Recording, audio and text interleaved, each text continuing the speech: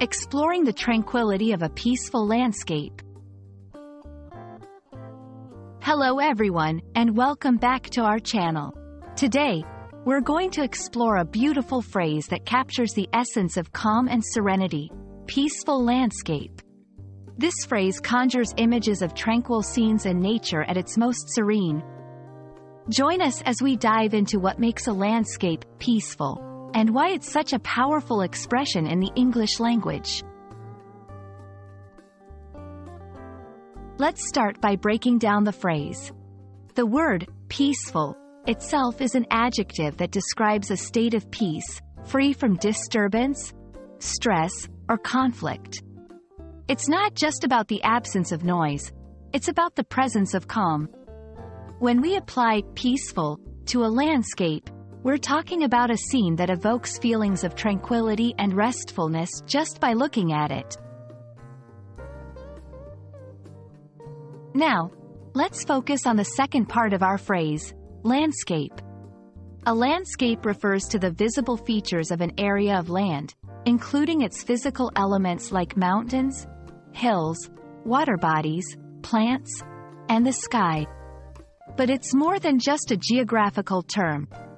It's an artistic one, too, capturing the beauty and the emotional response it evokes in the viewer.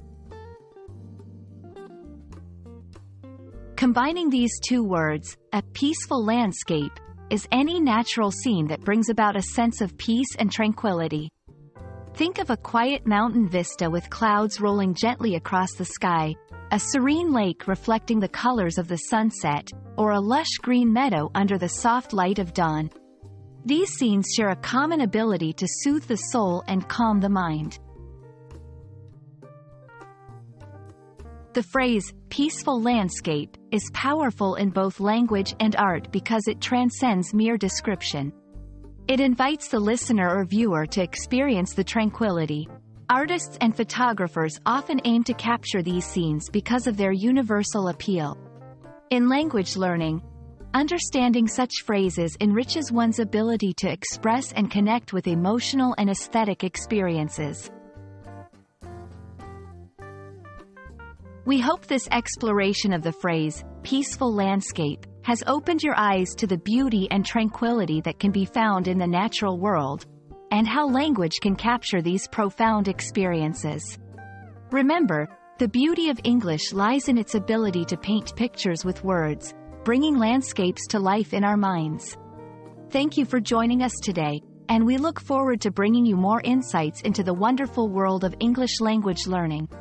Stay peaceful and keep learning.